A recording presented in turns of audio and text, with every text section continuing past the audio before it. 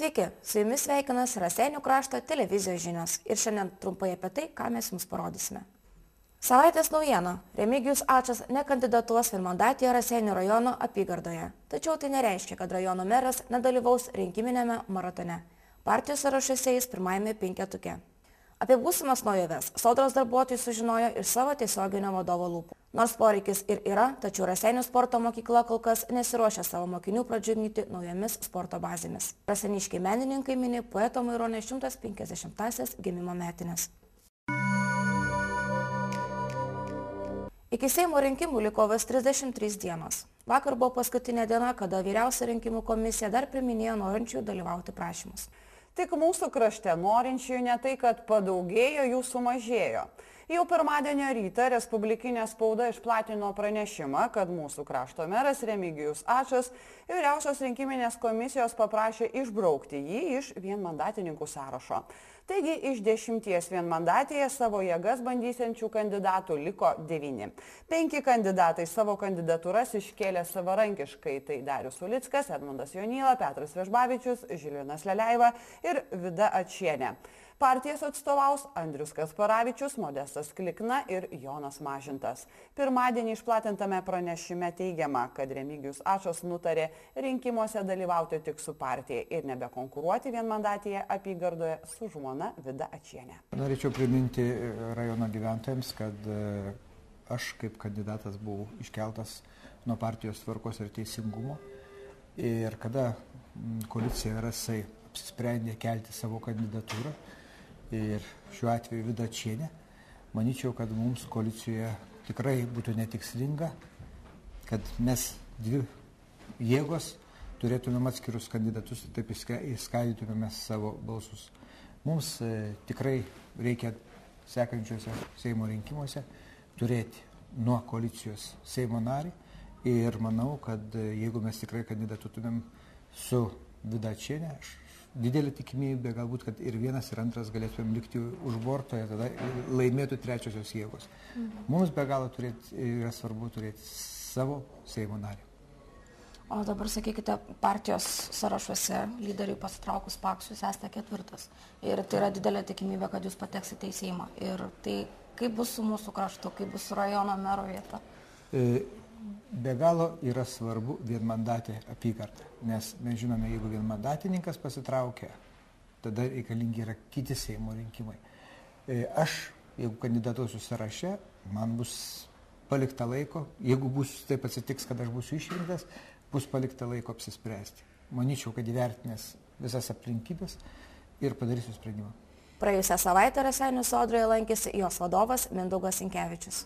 Sodros vadovas lankosi visose Lietuvos miestų padaliniuose, bendrauja su darbuotojais, sprendžia iškilusias problemas, domisi, ar praėjusiais metais įvykę pasikeitimai, tai yra teritorinis padalinių sujungimas, neapsunkina dirbančiųjų. Aš manau, kad ta mūsų reforma pasiteisino dėl kelių priežasčių. Mes sustambinome centrus, padarėme 10 centrinių skyrių per visą Lietuvą. Kodėl mes tai padarėme?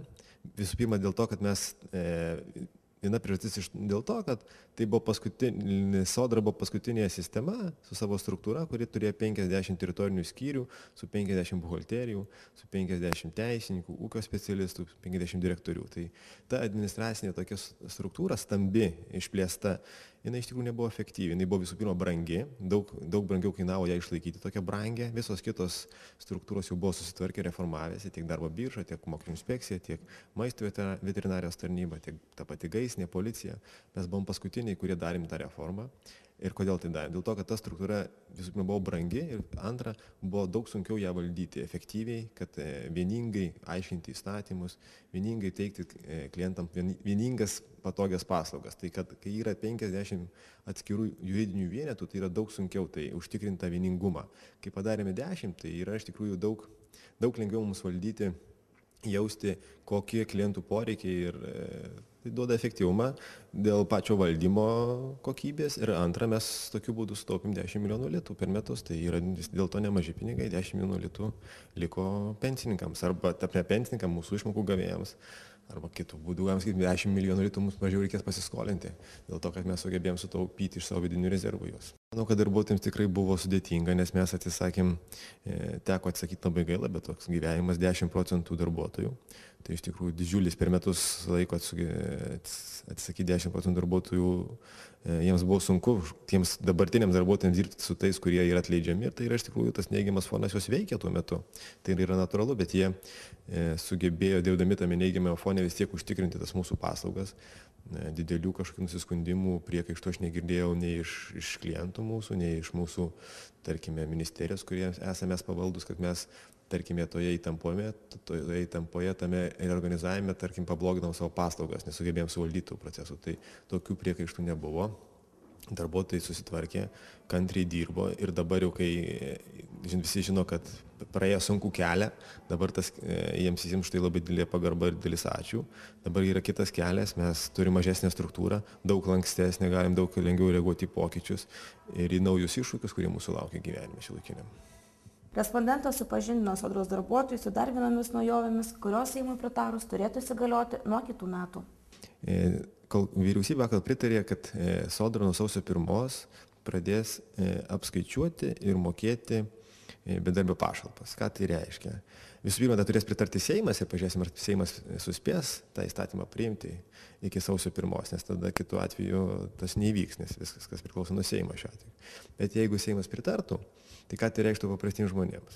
Ir dabar mes surenkame visas bedarbio įmokas, kai moka darbdaviai, mes surenkame tos pinigus ir pervedam jūs darbo biržai. Tarne, sodra tos pinigus surenka ir perveda darbo biržai. Darbo birža tada išmoka bedarbiams. Tai tas yra tam tikras, nu, toks pertik, kaip ir galėtų pasakyti, pertikras mechanizmas. Mes tos pinigus turim surinkę ir duodam darbo biržai. Ir darbo birža išmoka. Tai dabar būtų mechanizmas tas, kad kaip vaikščio bedarbis, taip ir vaikščios ir toliau į darbo biržą kaip jis palikdavo savo sąskaitos numerį darbo biržoje, taip ir paliks, kaip ten su darbo birža dirbs, jisai, nu, tarp darbo birža su juo dirbs, ieškos jam darbo, ten tam tikrus mokymus pasiūlys, nu, darbo birža turi savo funkcijas, jinai kaip atliko, taip atliks. Paprasčiausiai mes gavę duomenės kasdieną iš darbo biržos apie reikiamas išmokėti e, tarkime, pašalpas, mes apskaičiuosime jas, nes ir dabar darbo birža apskaičiuoja pašalpas pagal mūsų duomenys, nes pas mus yra duomenys, kokie dydžiai priklausytų bedarbiui, nes mes žinome, kiek jis anksčiau uždirbdavo, kokį jis stažą turi. Tai kaip e, ir dabar darbo birža apskaičiuoja pagal mūsų duomenys. Tai dabar paprasčiausiai jau nebereikės duodų duomenų darbo biržai, o kadangi tie duomenys yra pas mus, mes patys apskaičiuosim ir išmokėsim. Jie tik mums pasakys, šitas žmogus yra bedarbis, jam reikia apskaičiuoti ir sakyti ir viskas. Arba jam reikia sustabdyti. Mes apskaičiuosim, išmokėsim. Tai bedarbis nieko, bedarbio nieko nepajus, jie kaip gavo pinigėlius, tik gaus, tik tai gaus iš sodros, sodros sąskaitos. Sodrai nebereikės pervedinti darbo biržą ir tada darbo biržą pervedinėti, o mes kaip surinkom pinigus, tai pravesim dar bedarbiams. Aš manau, kad bedarbiams e, tas aptarnavimas visiškai nepasikeis, o bus daug didesnis efektyvumas, ta prasme, išteklių naudojame, nes mes dabar daug labiau apkraunam savo tas organizacijas, tiek darbo biržą, tiek, tiek, tiek mes, kad kiekvieną dieną vyriausius duomenys sukam, duodam darbo biržą, darbo biržą vėl atgal. Dabar bus tas kelias paprastesnis. Penktadienį Raseinių kultūros centro meno galerijoje savo darbų parodą pristatė Rasiniškių įkurta menininkų bendryje Pegasas. Čia buvo pristatyta paveikslų paroda skirta Maironio 150-osiams metinėms. Bendrijos pirmininkas Audrius Norkus teigia, jog parodai buvo ruoštasi seniai, o Maironio jubiliejinės gimimo metinės tapo puikia proga.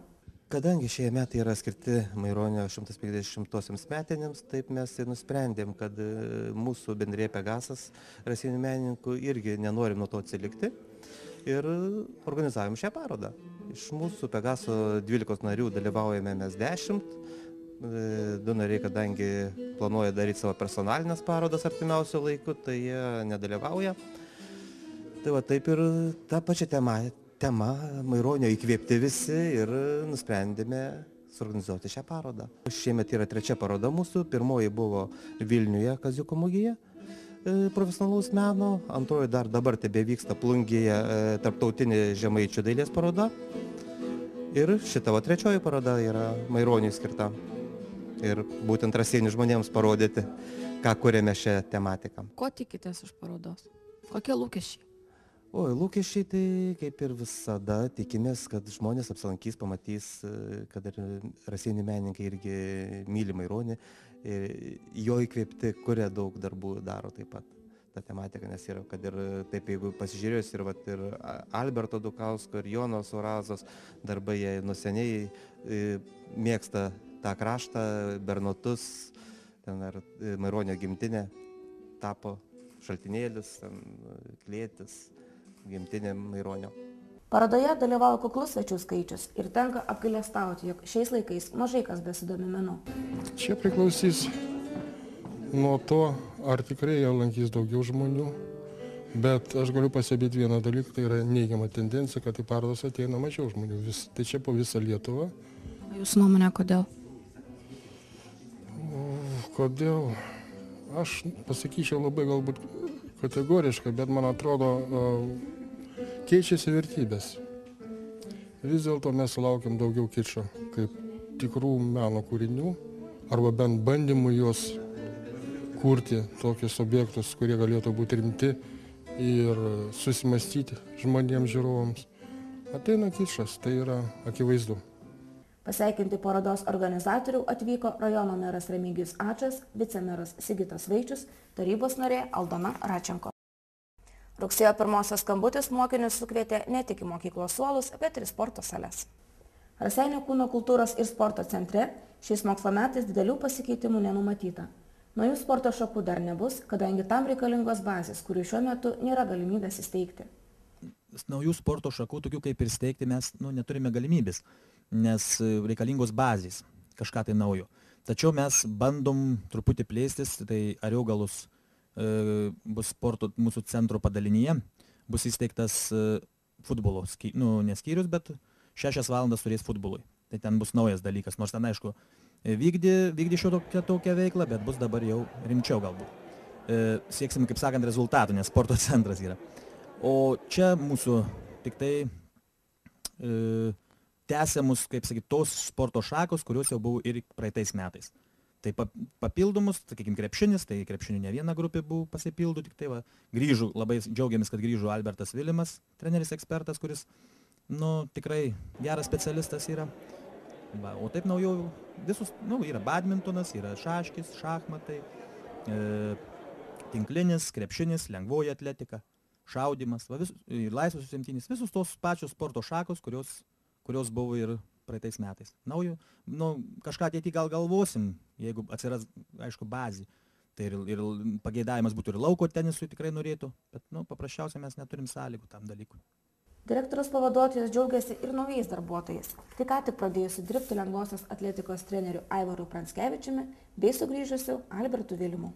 Nes tai yra mm, ir turintis žmogus neblogų rezultatų, pasiekęs e, ir Lietuvos rekordą e, lengvos atletikos estafetėje 4 po 100 ir dalyvavęs ir Europos e, suaugusiųjų čempionate. Taip kad nu, žmogus, manome, kuris turėtų gerai įsilieti į, į mūsų sporto centro veiklą, darbą.